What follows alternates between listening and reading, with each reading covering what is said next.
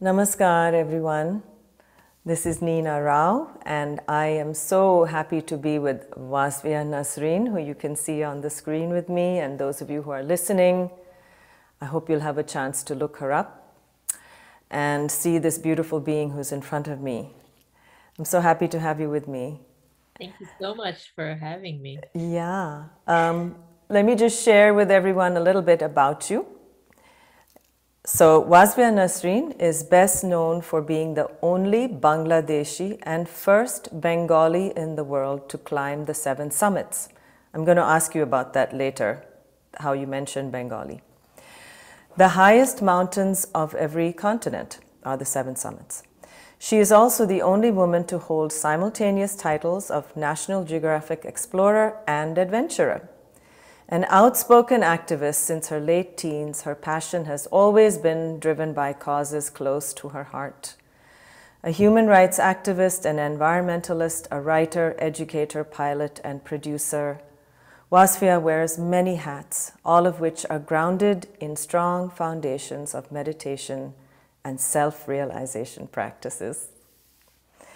And last but last, not least, she's an expeditions expert and takes leaders on journeys into nature to connect with self, humanity, and the earth so that together we can commit to solutions that will create positive change for our planet. At the end, I'm going to ask her to share with us what she's working on right now. Welcome. Thank you so much, Wasfia, for being here with us today. Um, for all of you who are listening, I first met Wasfia virtually last year when she was a guest speaker and teacher on the Dalai Lama's Power of Compassion Global Vision Summit, along with Tenzin Bob Thurman and a few others who were also participating at the time. So, Wasfia, I just want to ask you I looked at your Instagram page because who doesn't? And Instagram is like I I have to keep posting. I'm so bad at it. Yeah, I know. I don't. I understand that, but at least you have a nice short bio. It says athlete, vegan, National Geographic ad- adventurer and explorer, made in Bangladesh, raised in the Himalayas, and based in Los Angeles. So it sounds a lot like my life all over the world. So go ahead. well, the Los Angeles bit is more recent. Uh, and I was born and raised in Bangladesh. You want me to give you a whole story of how that came about or I would love to hear however you want to describe your path till you got here and then we'll can go into some details after. Okay, awesome. Um, also just a side note that made in bangladesh hashtag is there because uh, of we can talk about it later but you know the we're number two after china now in terms of garments industry and mm-hmm. um, i was involved with the rights of garments factory workers yes. who are mostly women and so that made in bangladesh title is to get people to you know pay attention to the workers condition um, sure. um, that's why the hashtag is used. Uh, so yes, as I was saying, I was born in Bangladesh, and um, you know, almost 40 years ago, uh, and my parents were just middle class. My mother was a teacher and a musician, and my father was uh, shipping. Um, he worked in the ship, so basically my if anyone's familiar with that region it's if you see the bay of bengal yeah. which is the largest delta on the planet um, there's a you know this the sundarbans the largest mangrove forest is uh, you know kind of sidelines the mm-hmm. bay of bengal and so we were at the time that I was born, they were living in a town very near there called Khulna. And even now in the last four decades it's still it looks like a village more like a rural town um, in comparison to let's say the capital dhaka. So um, now that i look back it was probably you know i'm so grateful that i was born there because i was born into nature. You know my dad worked in the ships in not in the mountains but at least in in a, from a water perspective like i was always in touch with the earth climbing trees you know running around. My dad would go to the ship. Sometimes he would take us to the indian ocean you know like just having that experience from such a young age. And you know people even back then were just very humble to mother nature's wrath. And i vividly remember that because we would have the floods every single monsoon season. And um, you know people so there are villagers who build their homes on a daily basis when that happens they just go inland inland inland and um, you know over the decades i've seen how much resiliency is you know with those people who pay the worst in the climate crisis uh, equation, but they they had the least to do anything to do with climate crisis. Right. Um, that's a whole nother story. But uh, so and then later on, my parents moved to Chittagong, which is in the southeastern part of the country, very near the Burma border. And so the Rohingya refugees in the present time are kind of in the Chittagong Hill Tracts area. Um, so that's those are the only hills we have but at, from a child's perspective those were my mountains you know and so uh, at the age of six i i climbed something called it's funny to say now but it's like a from a girl's little girl's perspective that was like a really high mountain for me i was only six years old and it's, it's called chandranath pahar there's a whole temple chandranath uh, it's a hindu temple above that uh, uh, little hill. Um, so again, you know, very grateful that that whole experience with nature. Anyone who's traveled in Bangladesh needs to leave Dhaka city because everyone thinks of Dhaka, the capital, as most of the country, and the beauty of the region lies within those territories. And then when I was about 12, um, you know, my parents always had issues, the earliest I can remember, and we just didn't know what was going on. Um, and it is a very long story, uh, which I'm writing about in my memoir. So if people want details, they can mm-hmm. read that book. But sh- long story short, one fine day when I was 13, I woke up one day to know that my mom left. Oh. And at that time, you know, there was a lot of confusion. Like my mom left. Okay, maybe she's gonna come back. What happened? Nobody knows what's going on. Um, and then worse started spreading. And then later on, my dad got a divorce letter in the uh, mail. And so my parents ended up getting divorced when I was 13. And my dad was always working. He was a workaholic. He didn't know how to raise us. And so for a period of nine to 10 months, I didn't go to school. She was also my teacher.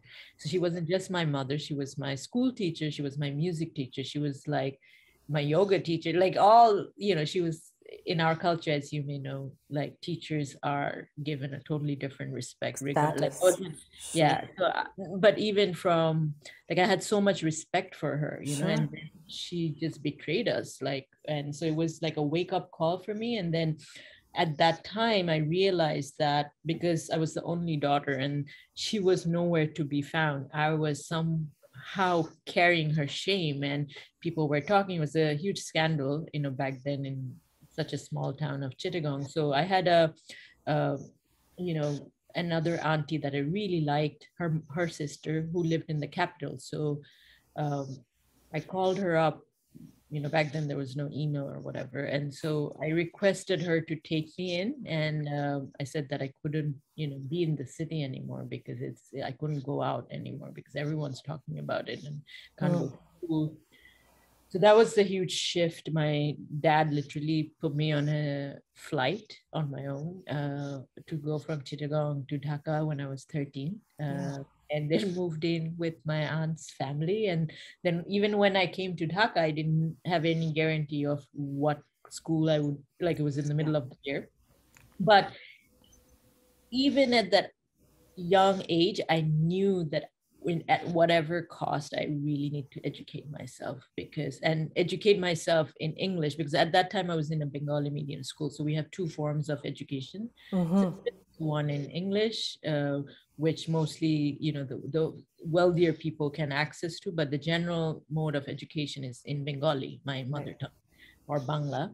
Um, so yeah, so I shifted from Bengali medium to English medium, um, and after thanks to my aunt, because of her connections and a lot of running around, I was admitted to a school, and then fast forward to becoming 18 on my you know we don't in south asia we don't really have that 18 age or 21 age rule that you leave your family right? But uh, I unless you get married.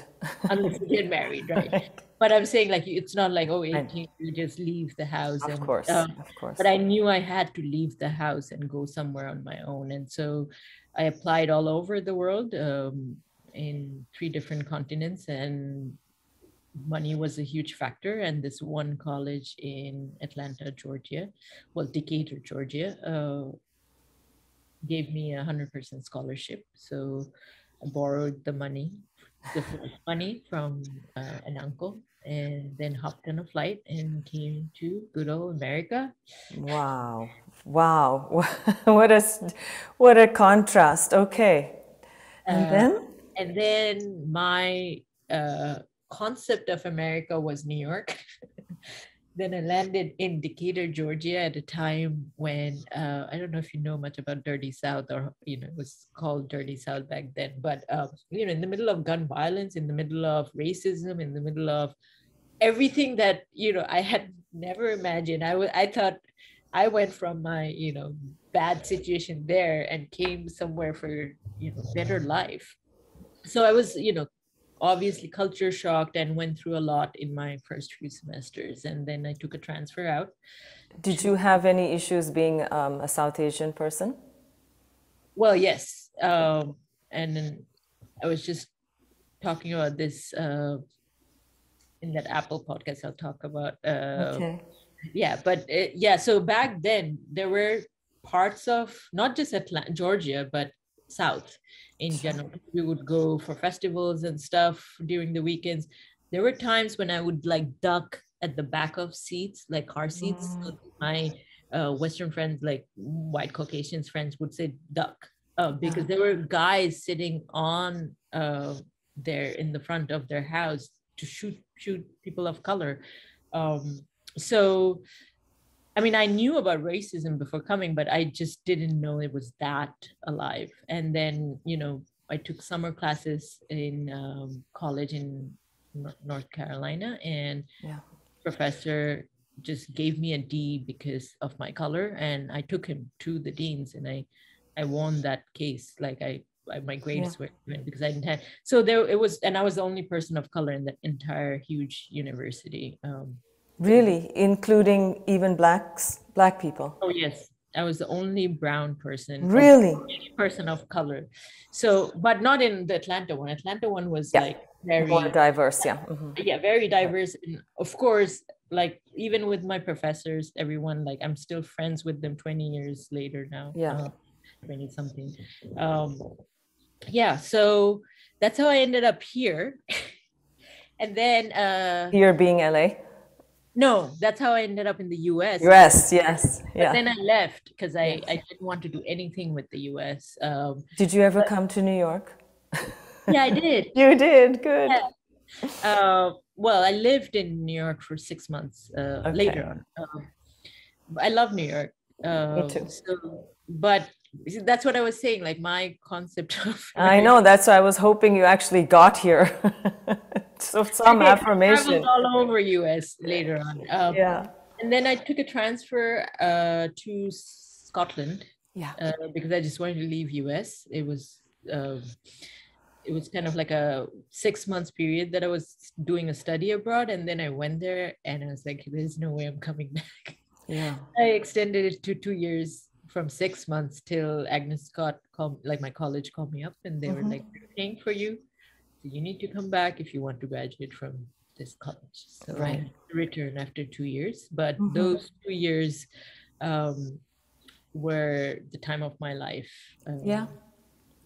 Yeah. I mean, Scotland is magic. So, yeah. And my, um, I guess because I don't know. There was there's so many similarities with like Tibetan world in Scotland. Um, you know, somehow uh, it worked. And my first introduction to any Tibetan Lama was in Scotland as well, uh, uh Akong Rinpoche, who um, the late Akong Rinpoche, who uh, managed uh, the Samye Ling and started the Samye Ling with uh, Trungpa Rinpoche.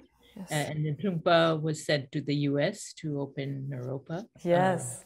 yeah, so yeah, it's all, I, I believe Samye Ling in Scotland is the first Western Tibetan Buddhist center. Um, mm-hmm. Before it came to America, it was there. Yeah, so I just accidentally ended up there uh, through an adventure, um, which is another whole story. And, and, then I came back to Atlanta, and then um, do you want me to continue after this, or? You can go ahead. go ahead. In, while I was doing my final year, I got a grant to go to India to study yeah. how women were using art as therapy. And in that trip, um, you know, I went to so many different locations, like I think 15 or 16 different locations studying because I was double majoring on in phys, uh, psychology and studio art. Uh-huh. So I was uh-huh. looking at different ways women were adapting to um, healing, you know, and I knew I wanted to do, like I was already into yoga, I was into healing arts and I was studying psychology and it fascinated me. And, but I wanted to combine arts too. And before. I was a theater student, so I wanted to use all formats of art to for empowerment for women.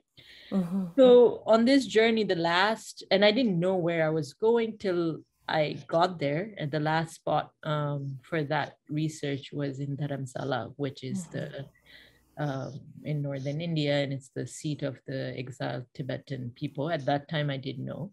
Um, and then, yeah, I ended up with, you know, these amazing group of women who were basically, I'm like barely 21 at this age, right? right. At this time. And I grew up in um, having no role models, A, no father, mother, or like having any kind of positive positive ways to like in my culture you take revenge. You don't forgive. That's the kind of uh, mm-hmm. i grew up in. And then i end up with this group of women who were physically you know they were in chinese prison uh, for a long time. And then they were you know somehow they managed to get out and then they walked barefoot or with minimum basic over the himalayas and came to dharamsala. A number of them had their bodies mutilated, like they were sterilized.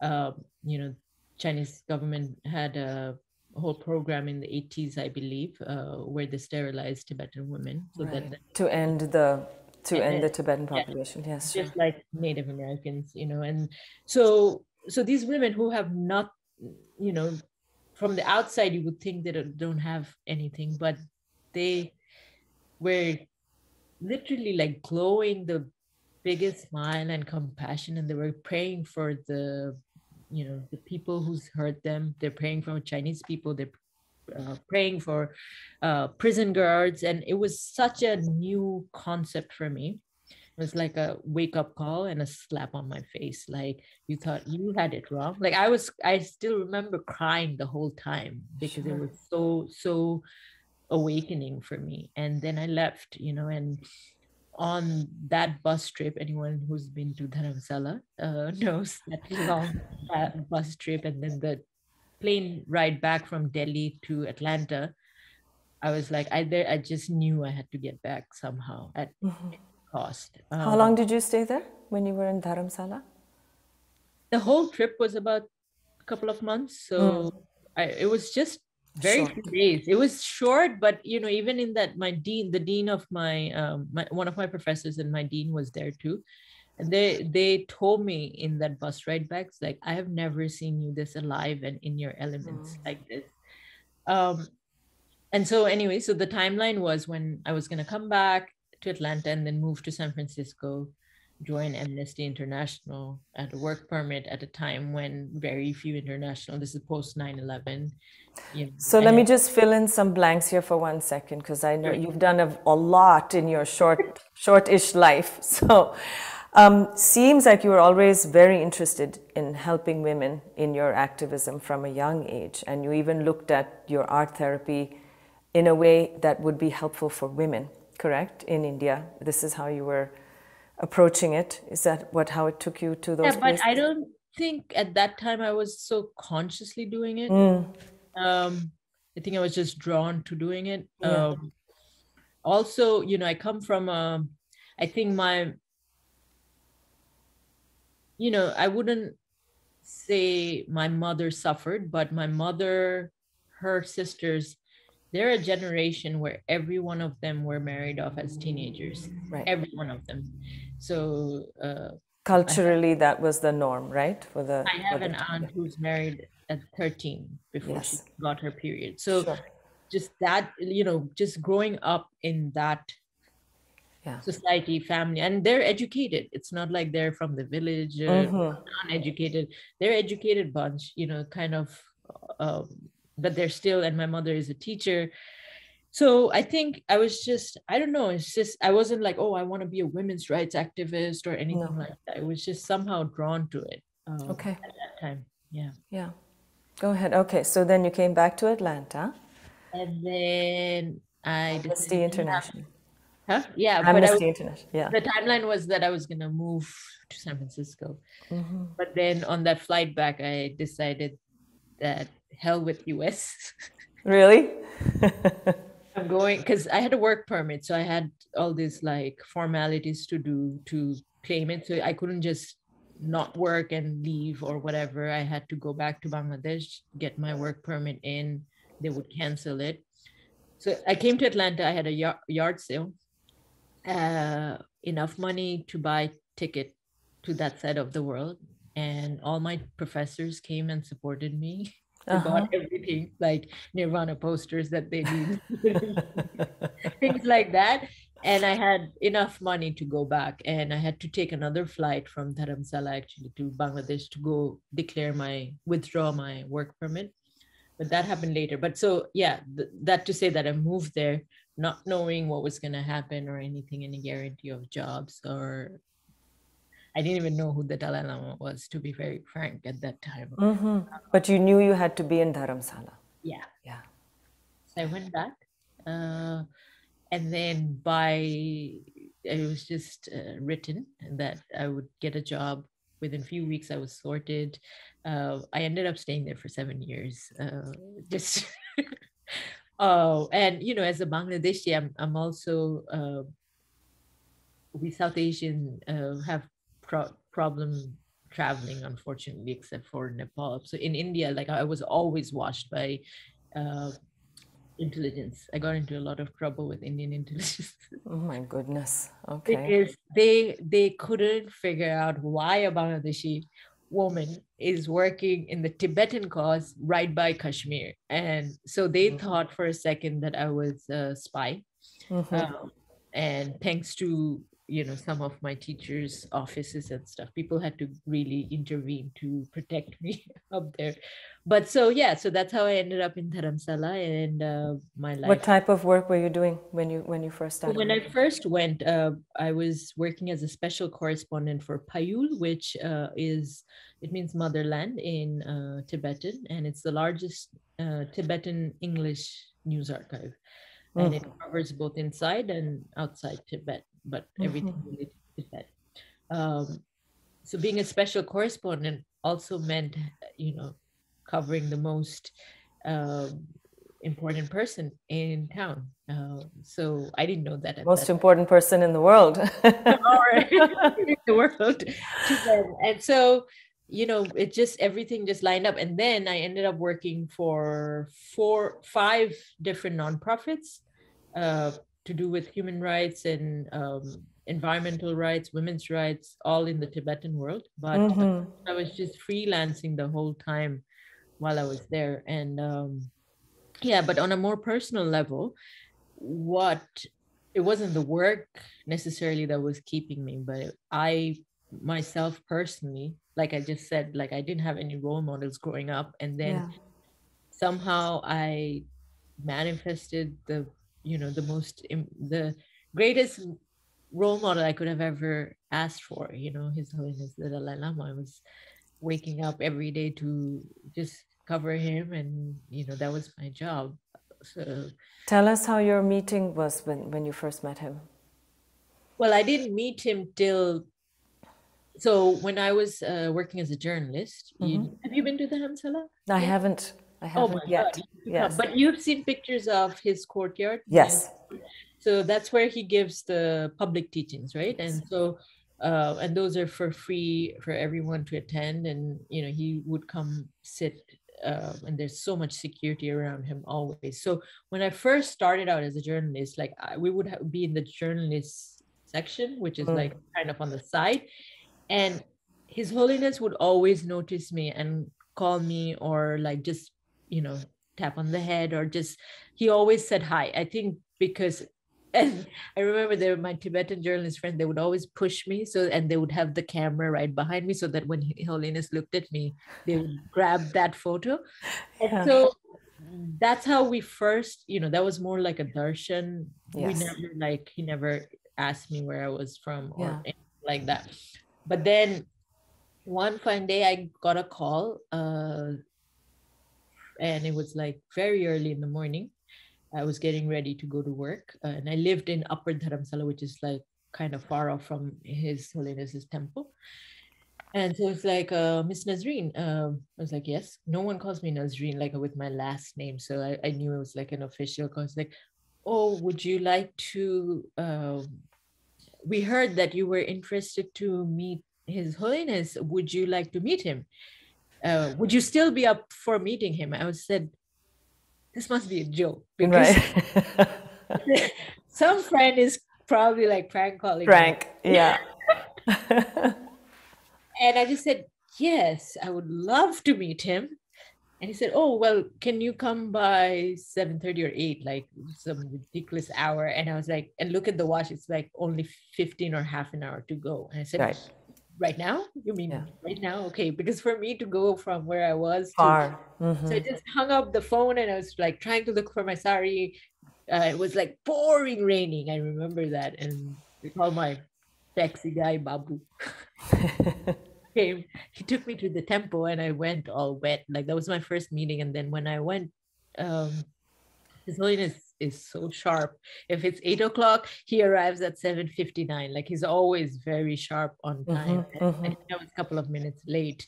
And I went in and I was just very nervous and I was totally unprepared because I it was like right on the spot kind of meeting. That that was the, the first one. And I think he, obviously His Holiness could tell that I was nervous. So he was cracking jokes in the beginning to kind of, and he always does that to, I've observed it over the years. He does it to get people, To I, I don't know what, what his intention is, but for to me, it looks like he does it to make people feel comfortable. Sure. Um, and everyone gets so like, ah, holiness. And so, yeah, so that was my first meeting, but it was him on the first meeting who told me the first thing he said was, You're from Atisha's land.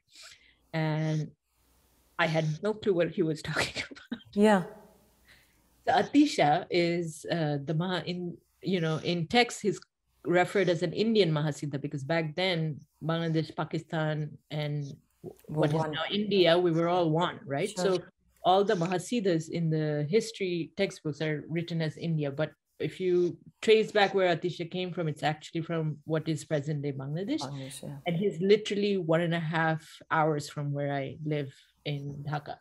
And so Atish Dipankar was instrumental in you know reviving, reforming Tibetan Buddhism. And his last few years was very um, in Lhasa and very near the Potala Palace. Uh, there is I've not visited it, but or haven't the chance to, but uh, I hear that his relics and a lot of um, uh, you know the last years of his life are still there in a little temple very near the Potala Palace. So he's revered as you know as the Mahasiddha, and so that's what Holiness was referring to. Um, yeah, and then from there we grew a friendship, and um, you know I would, and I I am fully aware that so many Tibetans don't have access to him, and so many Tibetans are still in line, um, and not just Tibetans, non-Tibetans to meet him. So I, of course, don't take it for granted. Uh, I would only go when it's absolutely necessary to. You could seek counsel from him and talk to Yeah. him, ask him questions. Yeah. That's great. And uh, yeah, and he was instrumental in you know me climbing mountains including everest and um, so he's always been a guide like that and and i feel like if he didn't come into my life or i hadn't gone there to find him um, i would probably not be where i am here today for sure mm-hmm. um, he totally changed my life as cliched as it sounds because the like i was saying the type of healing that i got especially from my parents abandonment yes. um, and just like you know growing up as an orphan with your parents alive few minutes but they didn't care uh, you know just healing from all those wounds it was i give all that credit to his holiness for sure mm.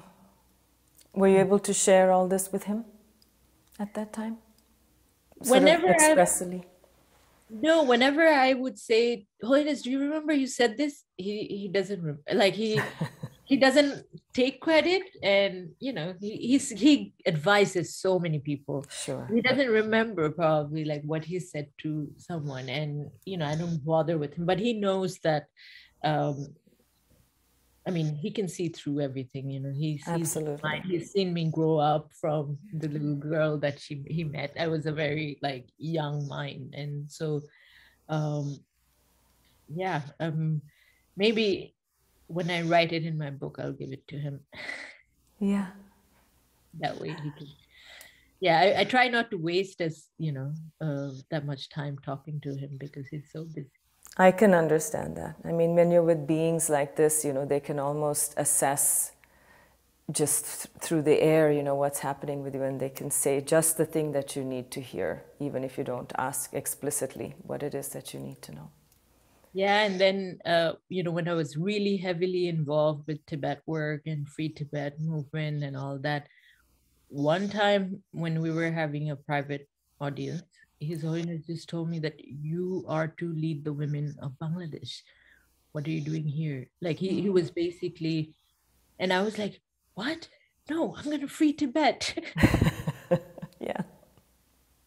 like, no. And then it turned out that these intelligence people, Indian intelligence came out, and I had to go back to move back to Bangladesh. Mm in a matter of time and then you know i am where i am in, in terms of my career with women's work and so his holiness saw that in my early 20s way before i even you know could consciously think of it. And i was quite against it actually. I was rebelling against you I didn't want to go back? the, that's the beauty of him is like he he is open to you challenging him. And he told me so many times you can question me on anything. Like don't just take it take a book by the cover question. Um, so i really really value that in a especially in a spiritual teacher for sure. so, yeah i've heard him say that often like question the teachings always don't don't just take it at face value you know really understand it that's the best way to understand Okay, and it was at the time also when you uh, met um, His Holiness Karmapa, also at that time? A uh, little after that. Mm-hmm. I was mm-hmm. very uh, involved with the Tibetan work. Um, so His Holiness Karmapa was very a young boy at that time. Um, yeah. You know, there was kind of like a, like he came as a young boy. So I knew of him who lived in Lower Dharamsala, but I was so involved and I have had you know, friends, and I can say this because I've said it to His Holiness Karmapa personally, so I know that he wouldn't mind.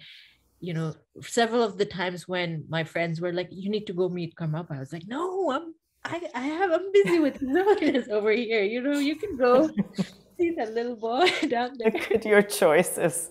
Yes.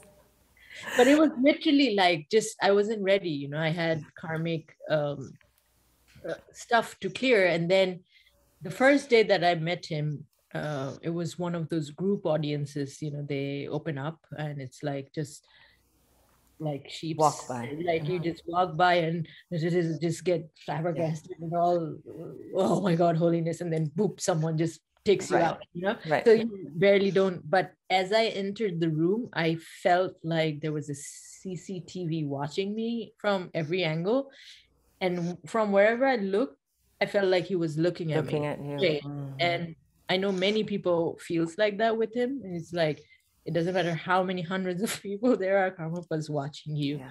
Um, and so I go to the, you know, go through the line, go to the front, and his assistant, who's a very good friend of mine now, he's not his assistant anymore. He was translating. So this is still when he wouldn't, uh, you know, he had I, forget how many years it had been, but he his English wasn't. Um, he was Quite still fluent. Yeah, yeah. yeah. Mm-hmm. So I think I said Tashdile, and he said Tashdile and said something I didn't understand, and I looked at the translator, and he said ancestors, and I was like, okay. And then someone just shoved me off, and I moved out, and I was like, what does that mean? right.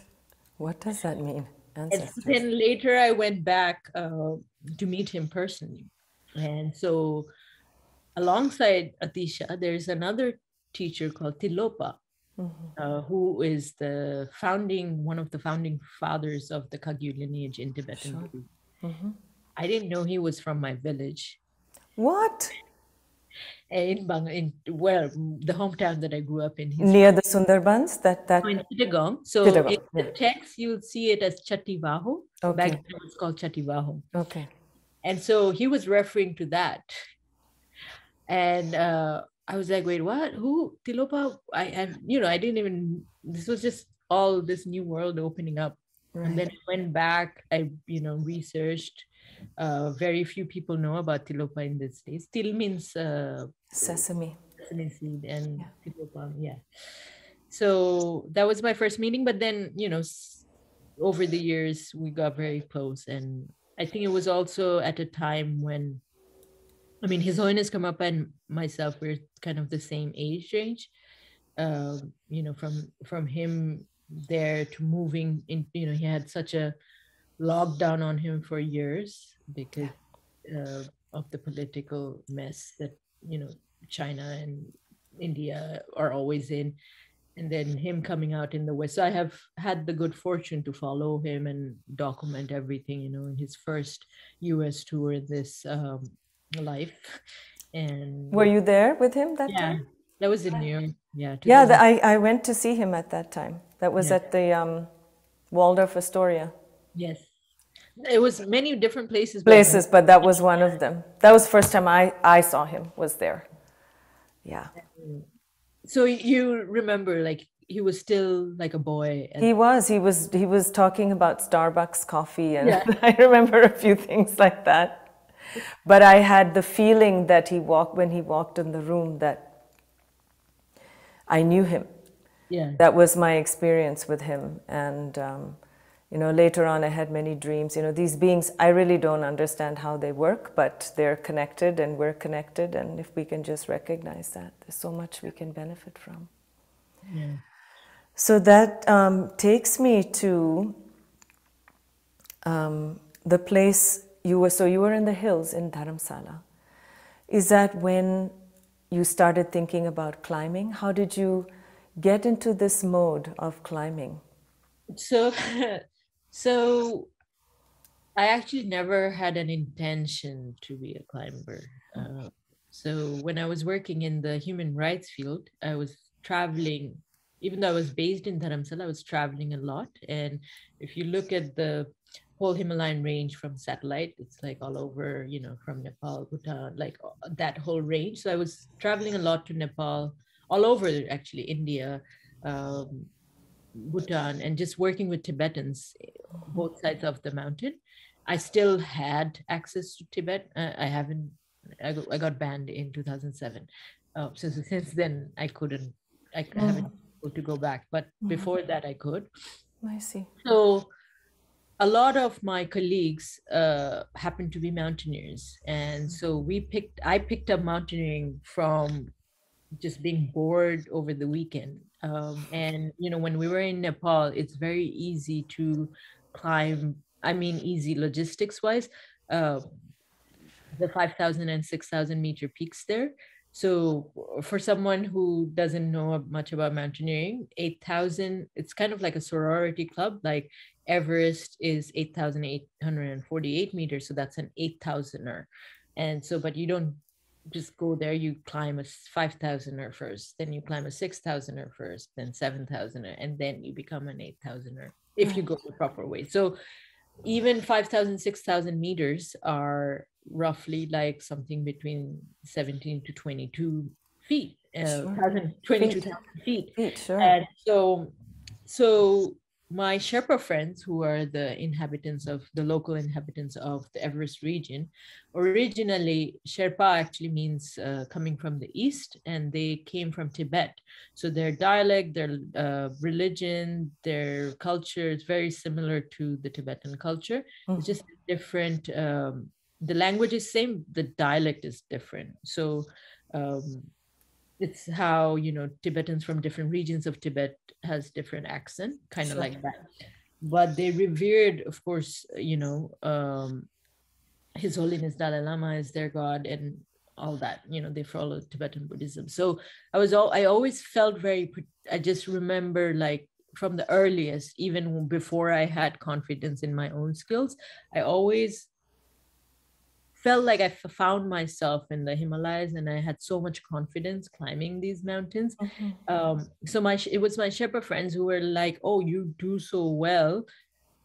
knock on woods uh, on uh, you know 5000 6000 meters you should just like you acclimatize very well you should push yourself to go up uh, further um, and that's that's how it began and you know it's interesting to see like a lot of the big mountaineers, if you follow their career, yeah. they usually end up in the Himalayas at the end. Last, yes. I by default started there. So, um, and then went to other re- mountain regions. So I got very lucky again. Um, Well, you did the work. I mean, it's climbing a mountain. People train for years, uh, you know, before that they, they can do that. I mean, I know you were practicing yoga and, you know, yeah, you were already my, living. Mm-hmm. No, as one thing that my teacher, another teacher of mine, uh, he always says that whatever you are in this life, don't think you just became this in this life. Correct. It, it's many many many years of your past life karma so uh, i feel like even when i fly like my teachers tell me that you're a pro like i knew how to fly even before i got my first class on flying. So there's some things that i think uh, like as a child i would get nightmares of being lost in sea. Mm-hmm. and i would always think that uh, it was my dad's shipping or whatever because we're in the water but now i know like i was definitely an adventure in past life like in of whatever format that was in several of my past lives and um, if you keep me locked in a house i would not survive for i was just telling you before this recording yeah. that you know being yeah. stuck in the pandemic really messed up my psyche like yeah i have to i'm a nomad i have to travel all the time explorer explorer. explorer of all kinds, though. Yeah. Not just the outward exploration, but also inward. And this is what I wanted to ask you about. Can I just share something with you? Yeah, sure. So, this is something that I came across um, a while ago when I was reading a book by Roshi Joan Halifax called The Fruitful Darkness.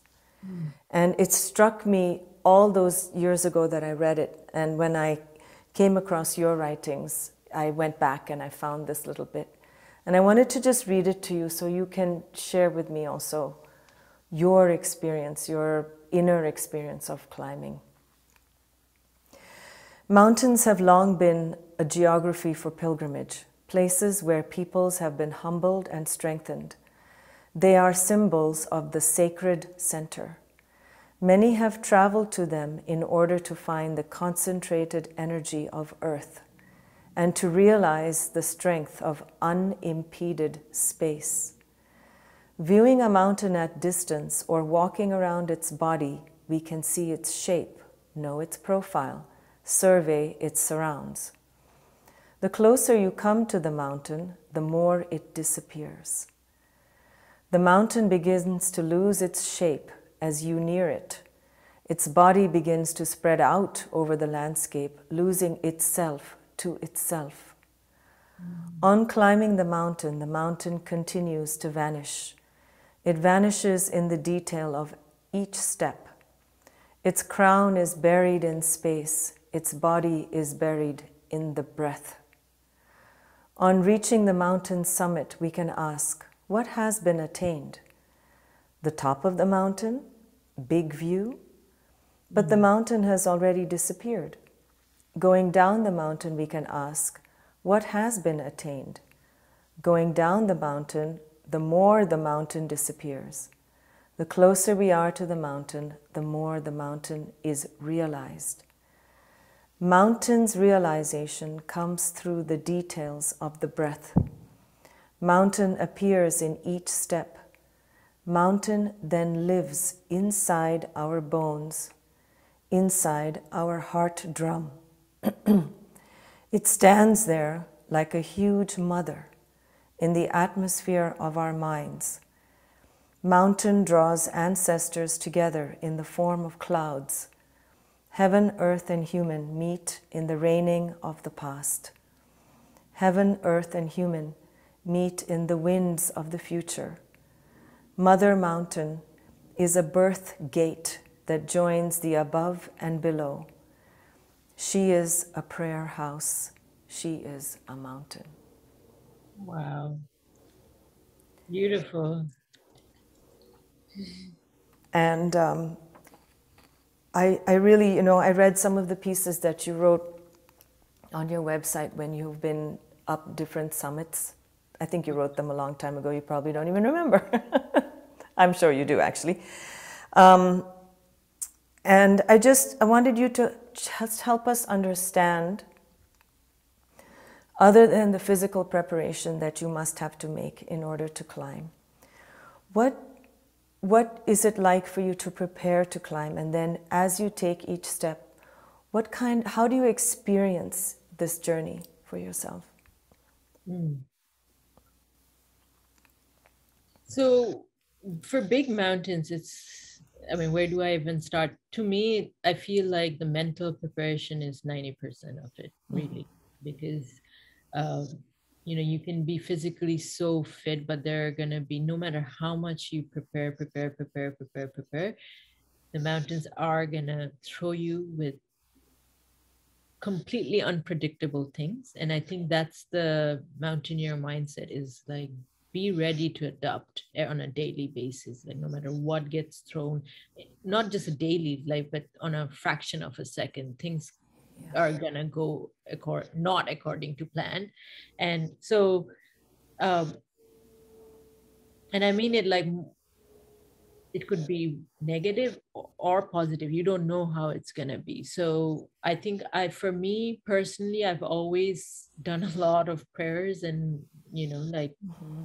Pujas and really invoke like for example everest that's uh i want to talk about that region because that region is not just a climbing or a scenic part of Nepal, it's also spiritually speaking.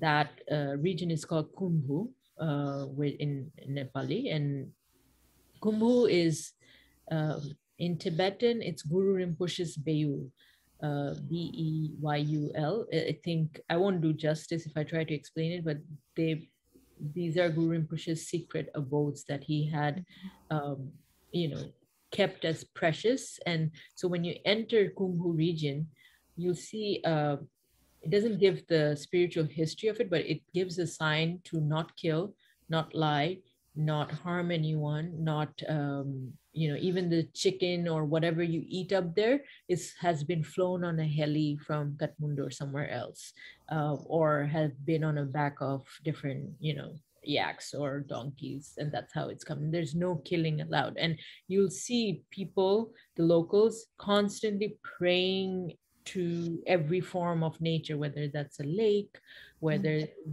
there are invisible you know serpents, nagas, as we call them, um, yeah. lords under the frozen lake. So this was my introduction to mountaineering. I didn't learn um, so-called Western way or any, you know, the professional, how professionals learn. I learned it directly from the Tibetan and the Sherpa people. And I think it's very important to give that difference that when you approach a mountain as a pilgrimage versus when you approach a mountain with the idea in your mind to conquer her. Because realistically speaking we never as human beings can con- conquer any part of nature. But that's what the colonial mentality has taught us to believe. And that's how to be very frank you know the history of mountaineering is colonial. You know that's how it started right? But everest itself is also a white dude's name you know chomolungma which is the local name such a beautiful name. It means mother goddess of the universe.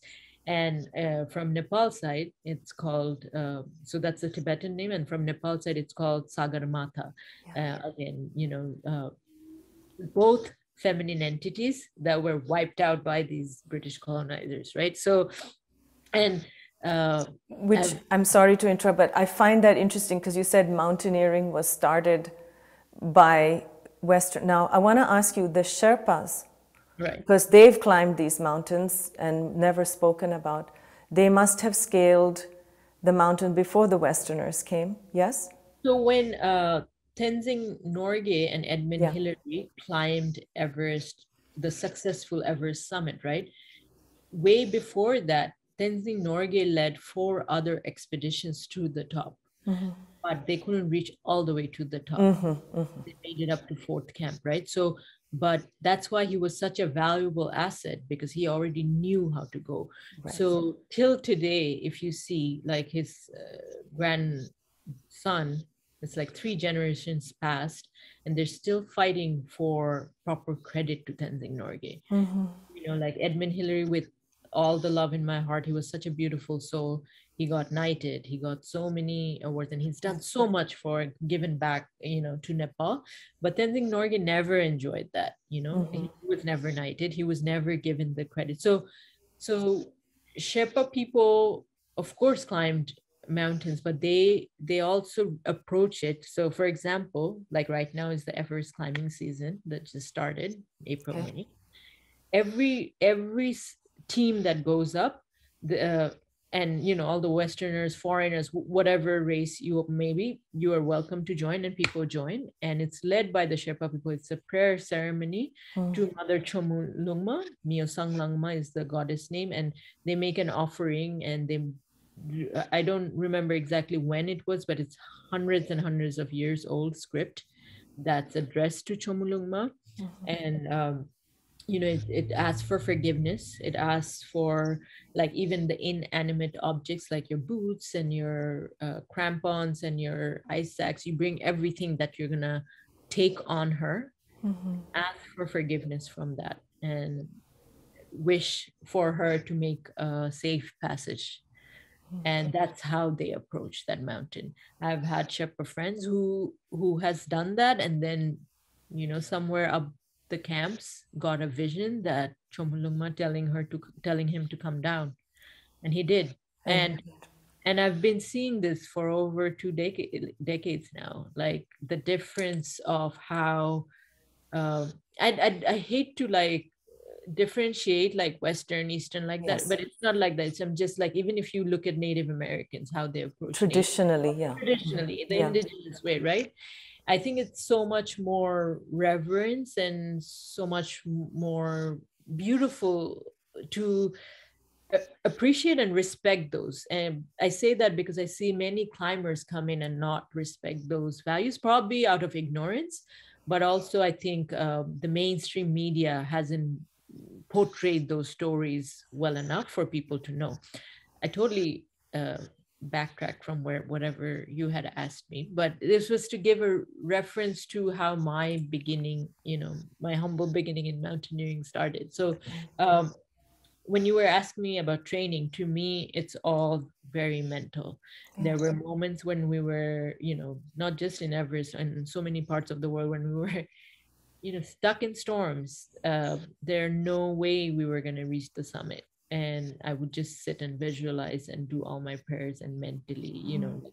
people have just died and i'm still i had to be strong you know and and can i ask you could you activate like at that you know often when we do practices we want to do these practices every day regardless of what's going on. So we build the strength of the foundation of our practice so that when the time comes, you know, it starts, it, it starts working for you. Were you able to actually employ your practices in those moments where you felt distress or uncertainty of what, whatever you needed to be deciding about at that moment? Yeah, I think, um, you know, one of the things, again, my root guru, uh, Tenzin Yangtze always tells me or told me before uh, when I was younger that your practice is not just your sitting practice. Every every breath is your practice. So habituating like whether it's a mantra that you recite or anything, whatever it may be your practice, to do it on a daily, not just when we're sitting on the cushion. Yeah. And so, yeah, to to answer your question, it it readily comes up, and I think the beginning of it is way before like if i'm planning for an expedition in june mentally the preparation has started in january or whenever you know as soon as i know i'm prepping prepping prepping yeah. so that when that time comes and i have to take a decision in a fraction of a second i'm able to take that decision you have the clarity clarity and yeah. you know if i'm with a team whether whether it's the good of the whole team mm-hmm. or it's a very ego approach you know for my solo benefit you know to just differentiate because things like that happen up there you know like uh, there there has been moments when i've been close to like the summit like maybe 900 meters close and i had to come back to rescue someone you know and i had i had so many months of fundraising and so much effort to go into the mountain but i knew that that was the right thing to do. So being able to take those decisions and um, when I'm organizing expeditions too, and not just for big mountains. Like I just got back from Everest Base Camp this February. It was like winter minus 38, like with those bone oh cold. Um, it's my 61st time this time. And I was walking, you know, this is the same path. Wait, did you just say your 61st time? Yeah. that seems almost impossible. Girl, I'm 40. I, have been doing this for last two decades. So yeah. So you, did you start climbing in your early 20s? That's when you started making your way up? Uh, well, in Everest Base Camp, yeah. Yes. So, yeah. So Everest Base Camp is uh, 18, about 18,000 feet, and mm-hmm. then the summit is 29,029. Yeah. So, uh, but I've been in that whole region uh, at that altitude for long time. Um, yeah.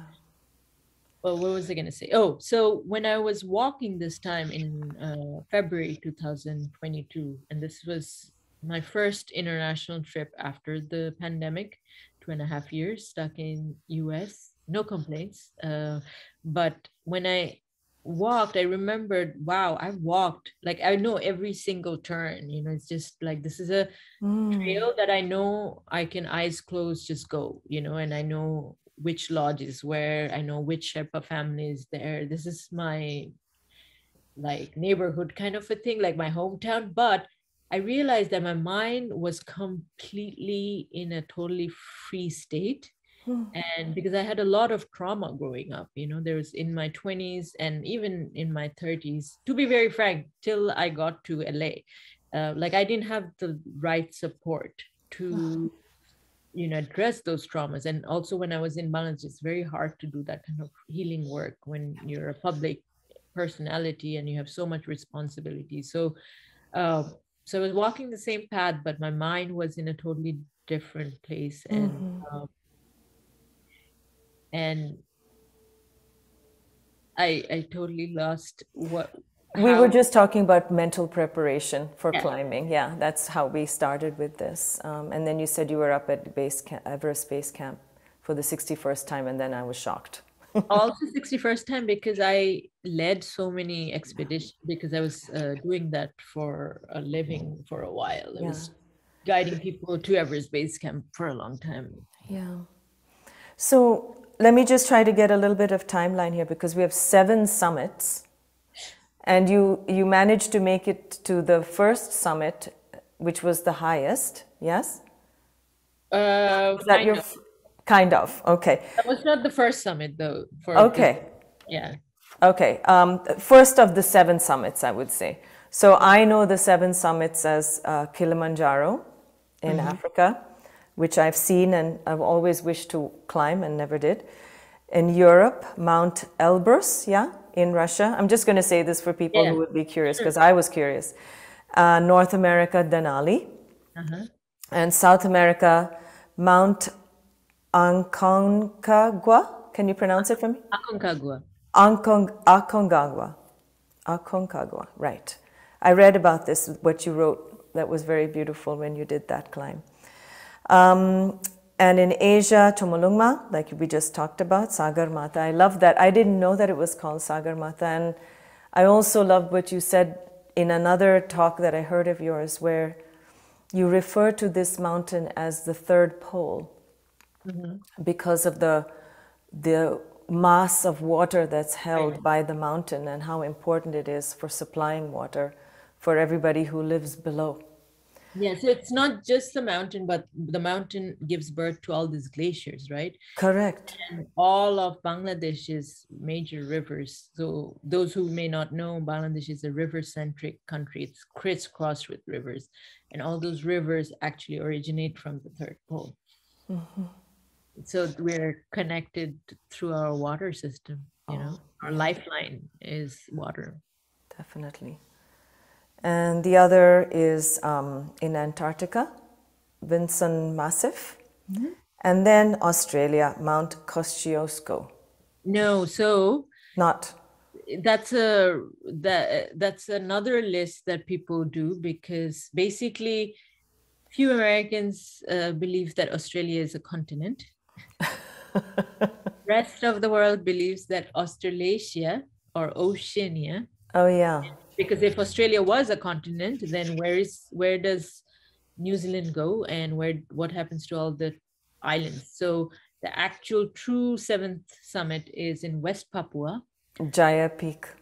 um, Carstensz Pyramid. Carstensz Pyramid. Yeah. Okay, yeah, yeah. So that was my biggest hurdle to get to, and it's the most uh, difficult of the seven, actually. Yeah, it's tall. Yeah. No, it's uh, technical. Like it's uh, Technical. Mhm. and to get to the region in West Papua, it's it was like I could write a whole book about that that adventure. Um, whereas Kosciuszko is like a bump. Like, Yeah, it seems like it's much lower in height for sure. Yeah. So just tell me, um, we don't have to talk about each of these climbs, but over what span of years were you able to accomplish all these um, climbs? Because it's a lot of work to even get there, as you were saying. So Right. then- yeah. especially with the Bangladeshi passport.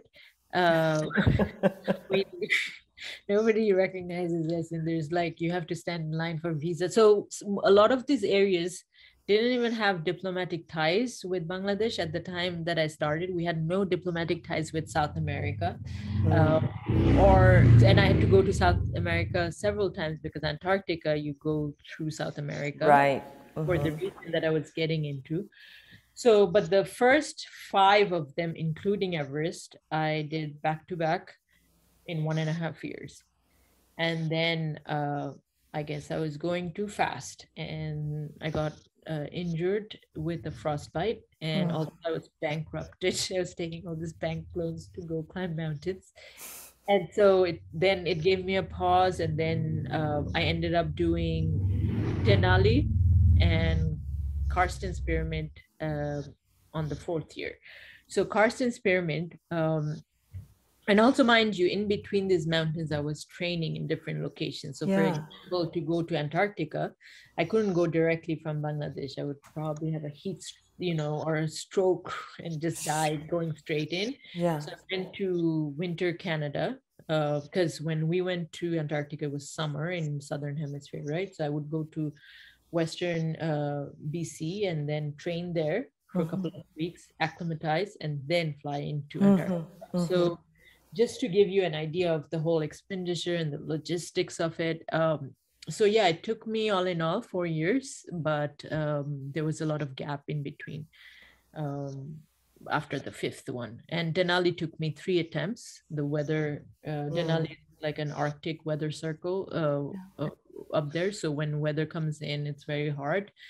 And then you have to wait for the next year because there's only one permit that you can get. Uh, Oh, I to wait out another year for that. Mm-hmm. Uh, yeah, so four years, 2011 to 15. That doesn't seem very long. Oh, long for me. it's a lot that you packed into those few years. Oh my goodness. Yeah. I love the, the idea of um, thinking about the climb as a pilgrimage, as yatra, yeah. and as a, a, way to surrender as opposed to conquering. I think that that's a really beautiful way of describing because it is, in fact, like that, whether it's the ocean or the mountain or the desert or whatever landscape of Mother Nature we might be traversing. Mm. So, um, okay, wonderful. And um, let's talk a little bit now. Okay, let's move into your COVID COVID era. when you were here, and um, it seemed like it was a it changed things for you, going through um, having getting COVID and then being laid up for a while. Oh yeah, how was that for you? Yeah. Um, so I got COVID in March uh, 2020 before America actually like it America just just officially announced it, you know. Um, so at that time I was misdi like not misdiagnosed, they just didn't take me, they didn't want to deal with me. So phys- on a physical level, I was going through it, but uh, it's a very long story, so I try to say it short. That whole one instant of getting infected and then I had pneumonia, and then it led to a series of my entire left side, uh, which is also in Tibetan Buddhism, Chinese medicine, um, whole all this medicine medical system. The left side is related to the mother, um, and so my left kidney, my left uh, uterus, my intestine, everything was affected. So it took me a one and a half years of recovery, like full recovery. Mm-hmm. Uh, so during that time, um, I probably purified almost 20 years of karma in terms of doing internal work because, mm-hmm. um, you know, at that time I didn't realize, but now that I look back, is like I'm so, so grateful for that time that I got to like expedite on processing all this wounding from really young time like that i didn't even remember in my adult life came up and so and i had good people around me to lead me to the right um, therapist or somatic healing healers um, i don't know if you know much about yes. somatic work yeah so i i didn't know about somatic work mm-hmm. for you know till recently you know two three years ago um, so yeah so to so i've been doing a lot of internal work since covid and you know i've always done a lot of internal work but this was like as if it was like i you know even in tibetan buddhism uh sickness or illness is a chance of purification or it's a time of purification. And it was as if given to me so i could process this. And then uh, like i'm writing the chapter after this and the chapter is because I'm writing my memoir uh, right yes. now, um, and the chapter is called "My Exit Trauma Free." Um, also, you know, it's I've always wanted to not carry the not just trauma, the shame, the cycle that my mother's lineage was carrying, mm-hmm. and I told them this is where it ends, and I'm not gonna have a baby until I know I'm not passing that on anymore. Mm-hmm. And um, yeah, so uh, that's where I'm at now.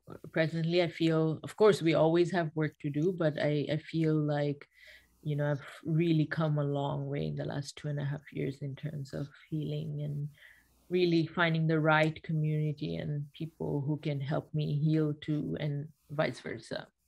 Yeah, it's great because you probably, you know, you had to stop everything else also. So you really had this time to retreat and go right and to... then before that even though i had bases in different areas like i was constantly traveling. Like last 20 years have been just travel in my life. And so um, i never had the time and the space to work on it um, or even look that deep in. And also um, you know, I joke because when people hear that I'm in LA, they were like, wait, what? What are you doing in LA? Why LA?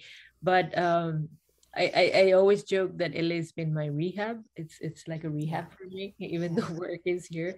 But um, you know, really f- the knowledge and like when I look back and I was able to find a kind of like a deeper forgiveness for everything that had happened, uh, whether because my mother didn't know.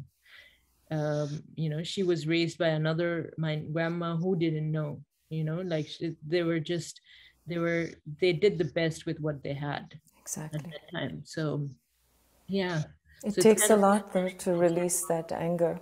You know, yeah. it takes a lot to release that anger and to forgiveness and not blaming and also just like all my life i've kind of because i was uh i was, was the caretaker in the family household right? So uh the peacemaker. So in my life too professionally speaking or whatever i would attract people who i rescue right? So that became my pattern. Mm. uh, so in the last two and a half years i also kind of I literally like one day I started writing down every single person yeah. that I catered to or had any kind of codependent relationship dynamics. And then once I started doing the work, as cliched as it gonna sound, every one of them kind of disappeared. Fell away. Yeah. Fell away. Some of them came back and then once I made my boundaries, you know, it's just and now I have a totally different set of you know i re kind of repattern my mm-hmm. and even those people if they're in my life they know where my my uh, boundary lies boundaries yeah that's such a big part of learning i, sure. I don't overgive anymore because yeah. my, my body like i had so much of it in my body like carrying other people's yeah shit but you know also as an activist um, because right. you do this is very much a part of your your being your personality is is caring right. for those who need help right. So you know you've talked about um, uh, wanting to be inspiration for young girls um, for children.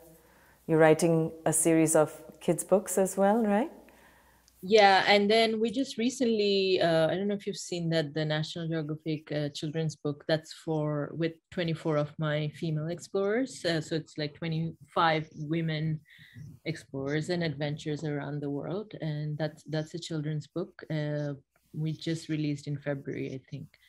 Yeah. I haven't seen it. I saw i saw it on your website that it had come out. Yeah, yeah. and um, you know, one of the things that you also mentioned was um, about your activism and how the foundation of it would be nonviolent, no matter what um, road you were taking to help people. So, just share a little bit with me about who are the peoples when you went back to Bangladesh and you talk about, for example, like when we talked about Made in Bangladesh in the beginning and you felt like you wanted to shine a light on the predicament of of certain groups of people in your country. Tell me a little bit more about that. Yeah, so when I moved back to Bangladesh from Dharamsala, um, I worked with several nonprofits again because Bangladesh is um, in the development sector. It's known as a you know the successful pit, kind of like every all there are all these success stories in Bangladesh, and there's all mm-hmm. these really large nonprofits working there.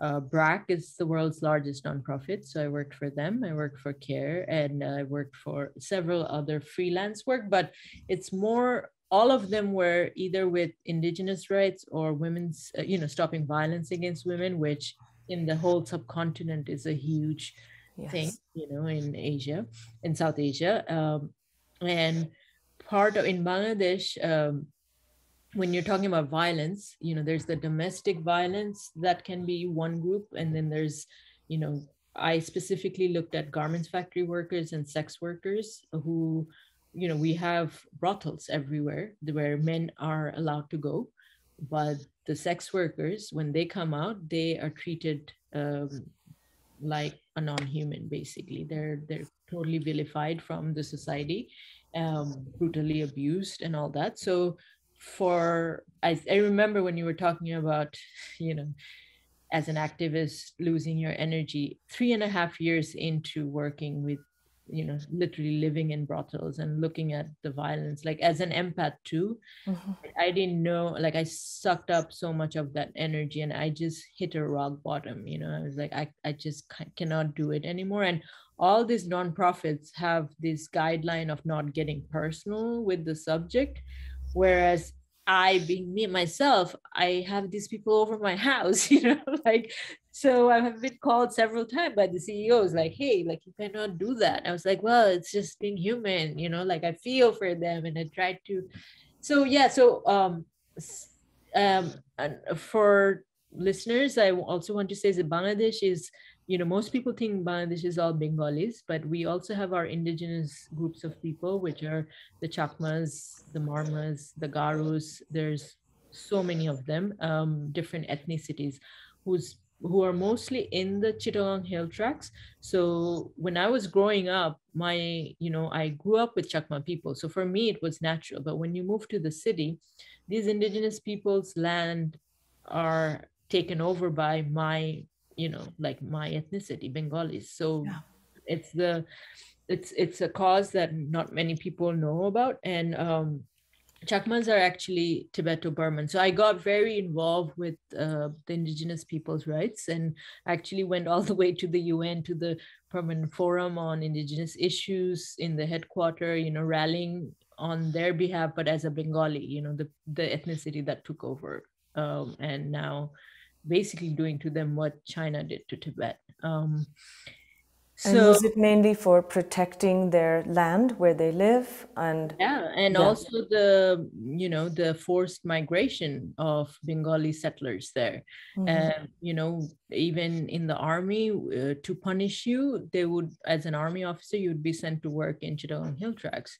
that that's kind of and it's the most peaceful part of the country you yeah. know it's the hills but they're they're there's a lot of violence and fire in the hills um, and so yes and you know there are rapes and all kinds of violence against women in that territory too. So um so yeah so somehow stopping violence against women was huge for me. Like i just felt very um in 2010 i think 2010 or somewhere around that time we were finally able to pass um, not just myself it's a huge women's community in bangladesh yes. and we were able to pass the you know some of the hard-hitting laws that exist in the country now uh, where you have all these ways to take someone to court if something like that happens and back then there wasn't anything so mm-hmm. i think we have come a long way but there's uh, some of my male friends complain that now women have more rights because uh, they have been given so much um, like if if a divorce is happening the woman can claim so much more.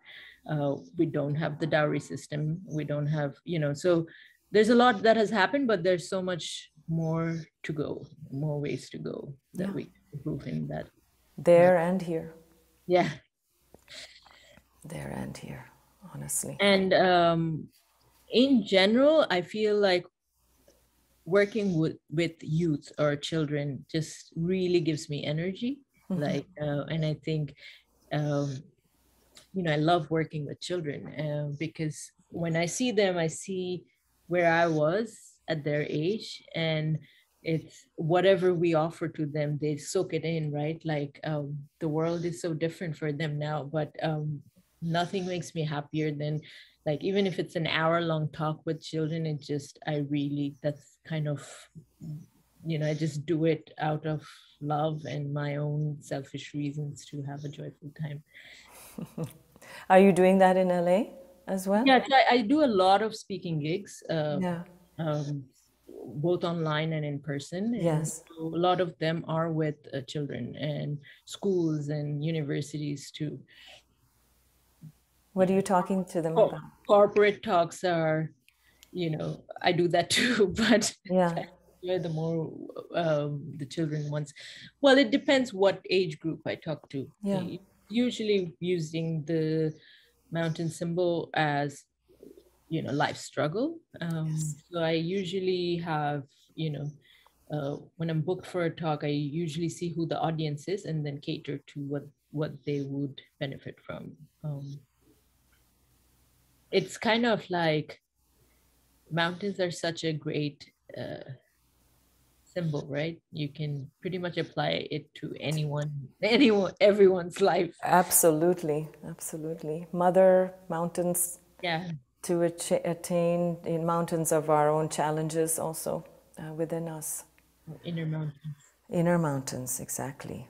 Um, how do you do you find when you're talking to the youth that um, there is a lot of struggle with thinking about what the future of our planet is in terms of um, just you know all the obvious things of global warming and reduction in biodiversity and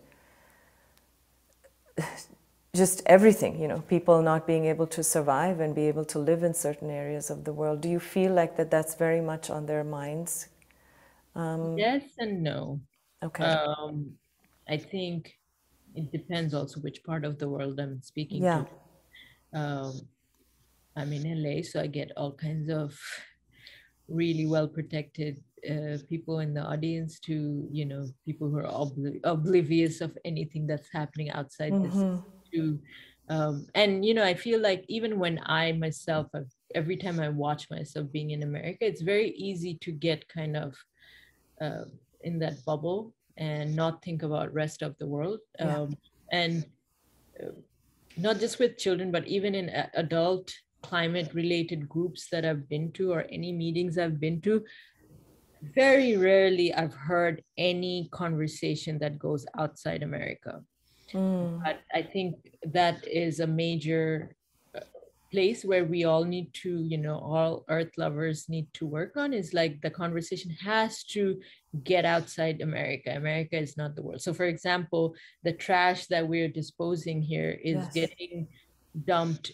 somewhere in my country or in other parts of Asia where we don't know how to dispose them. And now Bangladesh, if you see from the satellite, there's a whole methane uh, coming from this area and we we're already such a small landmass right? So um, and then eventually how it comes back to through the fishes over here. So till we understand interdependence here um, and i feel like all the in youth and i don't blame the youth because they're being directed by how um, in a lot of the youth conversation i think it's very america centered mm-hmm. it should be like more global.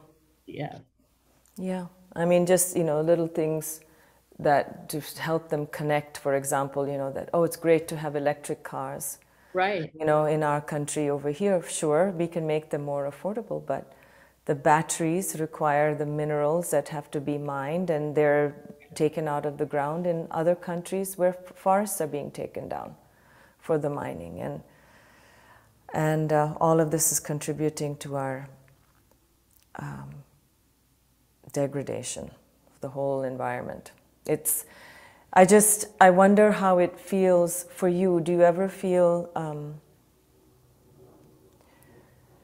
you know, in light of the climate activist who just took his own life um, just a few right. few days ago, that kind of despair, you know, that mm. I can understand. Um, because of the inact we're not activating. We're not activating as we need to. And i can see that that despair can be very uh, have a very negative effect on a lot of people. And right. for a lot of children that i've seen in my daughter's age group for example you know they almost don't want to deal it's too much. It's yeah. too much it's too much to even think about you know? How old is she? She's 20 now. Yeah. Yeah, yeah of course so. it is and i can understand that you know like from their perspective they have to focus on their own education standing up but yeah overwhelming but there's also not much hope being given and um exactly in terms of uh, the other thing i was going to say is like there's a lot of solution in let's say in america that doesn't work for rest of the world like you were saying about you know electric cars or you know like uh I'm not going to mention the organization, but it's here in LA, but they go all big on going vegan. I myself am a vegan, but you can't ask nomads or people who has lived high up in plateaus or natives whose lifelong you know uh, activity has been hunting and gathering to go vegan. That's not the solution to the problem you know? Uh, we can afford to those who can but that's not the only solution. So i think as we move forward to really take inspiration from uh, i don't know farmers in india or people from the rest of the world like how do they adapt to it and being open and diversifying and um, i think there's a intersectionality that we don't we're not always mindful of. Um, and you know like it, it only benefits us if we take wisdom from so many you know different regions right? Agreed. Agreed. Also there's just so much that's come from being a prosperous country here in america and our our nature is to just keep wanting and and getting more more and more. The idea of moderating um, sort of doesn't really exist. It's just how much can we extract all the time. Yeah. Well, I would like to ask you to please share with us what is in in the cards for you in your near future and far future, if you want to think that far. well, uh, right now I am working uh, in the development area of two TV projects that I can talk about. You the cannot way, talk about, okay. No, so uh, the way it works is you develop it, and then if it sells to networks, that's when you can talk sure. about it. So sure, sure. I have, that's why, one of the reasons why I'm in LA. Uh, I'm also working on my memoir, uh, which I've taken full freedom um, to take all the time that I need. And uh, my publishers got really kind of frustrated, but then the pandemic hit. But then I realized the pandemic hit, and those two and a half years were actually going to be my last chapter. So it was, it's going to come out as uh, when it's supposed to. Um, I'm also planning, or not planning, I'm leaving, hopefully, waiting for a visa to go on this another big expedition. Um, and we'll see uh, if that one happens. I, I can't mention where it is but all my all the updates are on my social and on my website and okay yeah great. Wonderful. once, once the memoir comes that that's when i start working on the children's book which is more of a graphic novel um so. Is it? Mm-hmm. yeah so it's a it's a graphic like when i was a kid i remember i was more into visuals than reading My daughter loves graphic novels. She loves them. She draws them, she writes them, she reads them, she loves them. Yeah. And it's based off my life, but it's fictional. So it so I have to, I had to put in imagination and it's a little girl's journey with the Yeti baby Yeti monkey. so, Does she have the superpower of peace? Uh, maybe I'm still working on it. I have a seven series uh, graphic novel, but my memoir has been sitting on for so long. Like I, I want to finish that one and then yes. So we'll see when that happens. Very good. Very good. Well, I wish you all the best and thank you so much for sharing your time with us. And uh, we will let everyone know that they should go to wasfianazreen.com, yeah. which talks, has all your multifaceted interests are um, explored there with your writings. You also have a little film, which I watched the other day. Um, yeah. God, these are so old. they are, they are. So because everything. 2015, I think, yeah. What's that? That was made in 2015. Mm-hmm. The short film. Well, we've had a pandemic, you know. Right.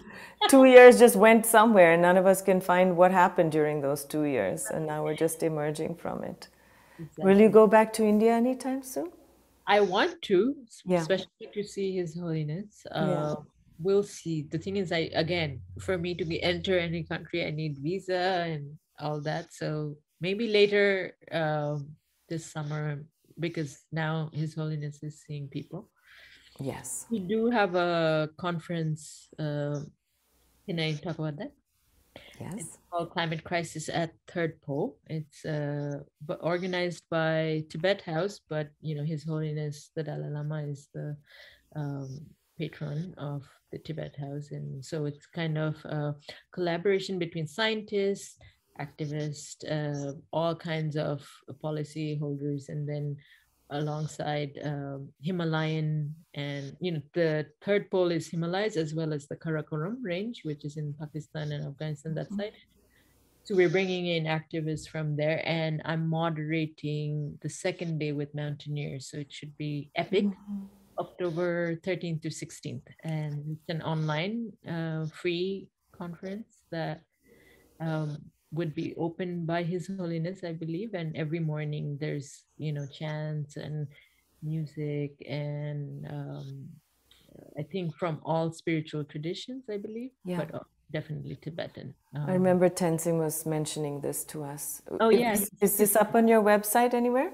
Not yet but okay. i'm going to put it up. I need to update my website now that you've like drawn all this attention. But no um I think we're waiting for some things to finalize, but the yes. date October 13 to 16. Yeah. So um I'm with Tenzin on the first day too. But there are several days of it's it's gonna be amazing. Um there are just I know who the speakers are and there's a lot of visuals and also to actually see people connected to this region and how their lives are being affected. I think um, one of the reasons I know you, are trying to finish up, so I'm just no, no, it's okay.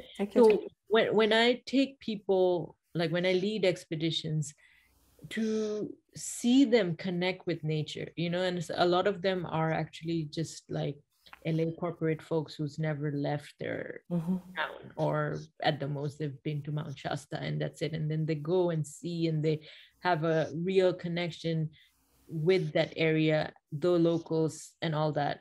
That's when you can invoke, you know, for them to act, right? So I agree.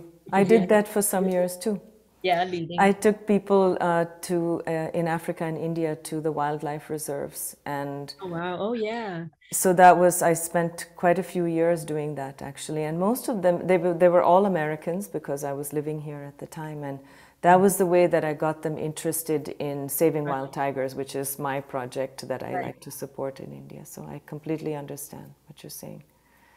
Yeah. Which is the beauty in this country actually because people have the opportunity to go to the national parks and actually really appreciate nature, you know, firsthand. Yeah. Yeah, and I always actually give the example of national parks and how well America has done in terms of maintaining carbon footprint in the national parks. And I give give the example of this to my Nepali brothers and sisters, and you know how Everest area needs to be controlled like that because it's over over that's a whole nother topic but yeah. it is. We we might have to have a series of conversations.